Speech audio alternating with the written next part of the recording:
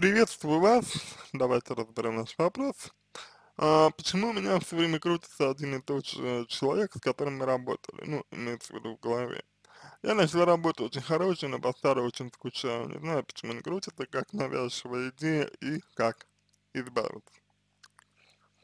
А, ну, я думаю, что э, здесь ситуация доста до достаточно проста, э, технически.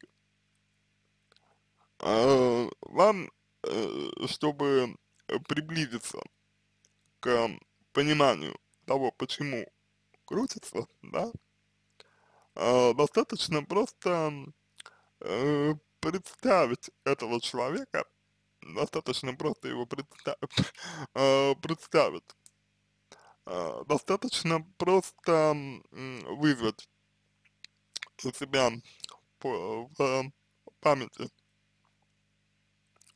а, его образ, вот, и заметить э, то, какие чувства вы будете при этом ощущать, то что вы будете чувствовать.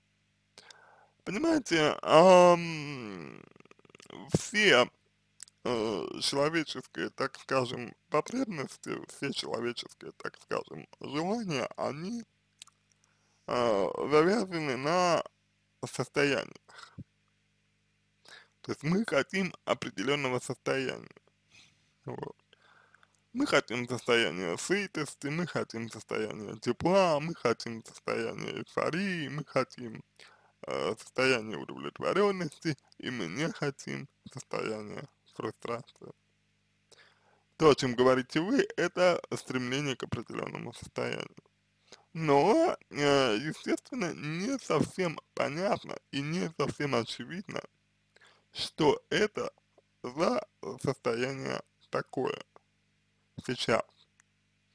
То есть, что это за состояние, к которому вы э, тяготеете на данный момент времени. Вот. Непонятно, что это за состояние такое сейчас.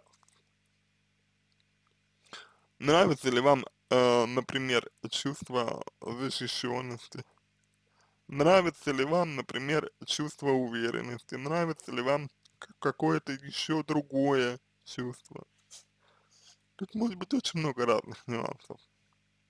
И поэтому в первую очередь крайне важно постараться увидеть, что же это за состояние, к которому вы тяготеете.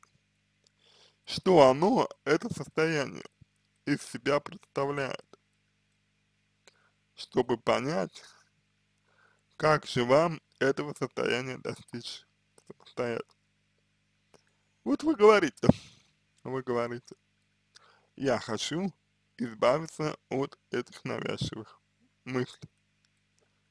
Желание понятно, особенно если вас оно, э, ну вот, как-то беспокоит, да, желание более чем понятно.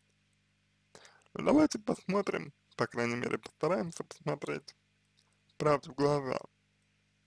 Ведь это желание не возникло на э, ровном месте.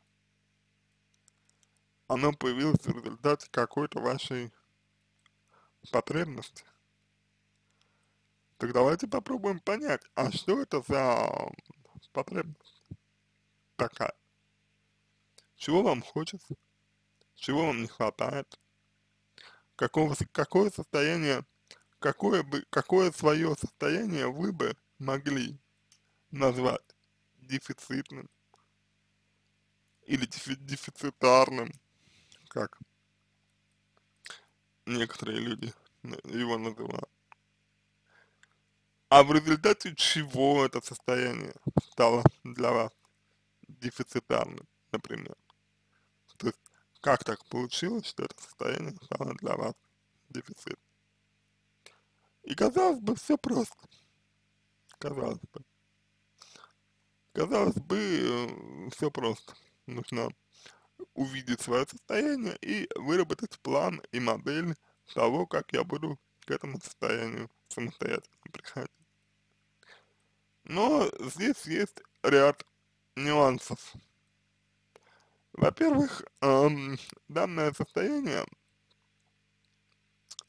по поскольку оно э, вами связывается сейчас уже совершенно очевидно с определенным человеком, с другим, скажем так, человеком, данное состояние э, несколько искажает ваш образ,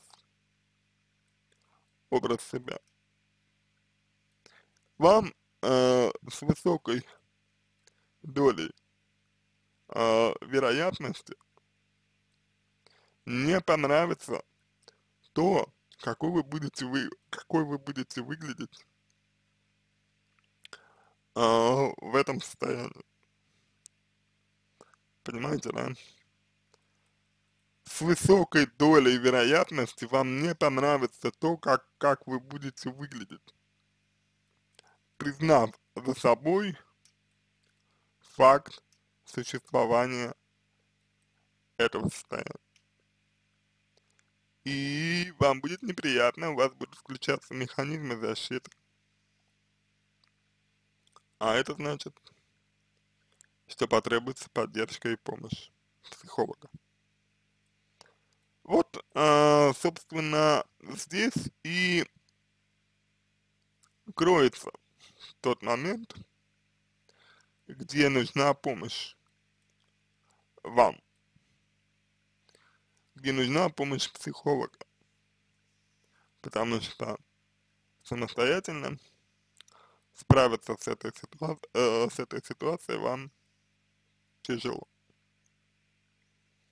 Вот такой в данном случае получается ответ, как мне кажется. Да, я думаю, что я думаю, что совершенно понятно и очевидно, по крайней мере, я очень на это надеюсь, что избавляться, именно вот избавляться ни от чего не нужно. Принимать, учиться использовать, да, это необходимо. Но и самостоятельно вам это сделать очень будет непросто. Вот. Поэтому выбирайте себе психолога и начинайте работать, чтобы изменить свою жизнь и стать более, скажем так, свободным. У вас, можете мне поверить, для этого есть все шансы. Но если вы свой вопрос задаете просто так, без готовности к индивидуальной работе, то все останется как прежде. Более того, ситуация может даже повториться. Я не думаю, что это то, чего бы вы для себя хотели. Я буду благодарен вам за обратную связь по моему ответу, это позволит вам начать над собой работу. Удачи вам, всего самого доброго.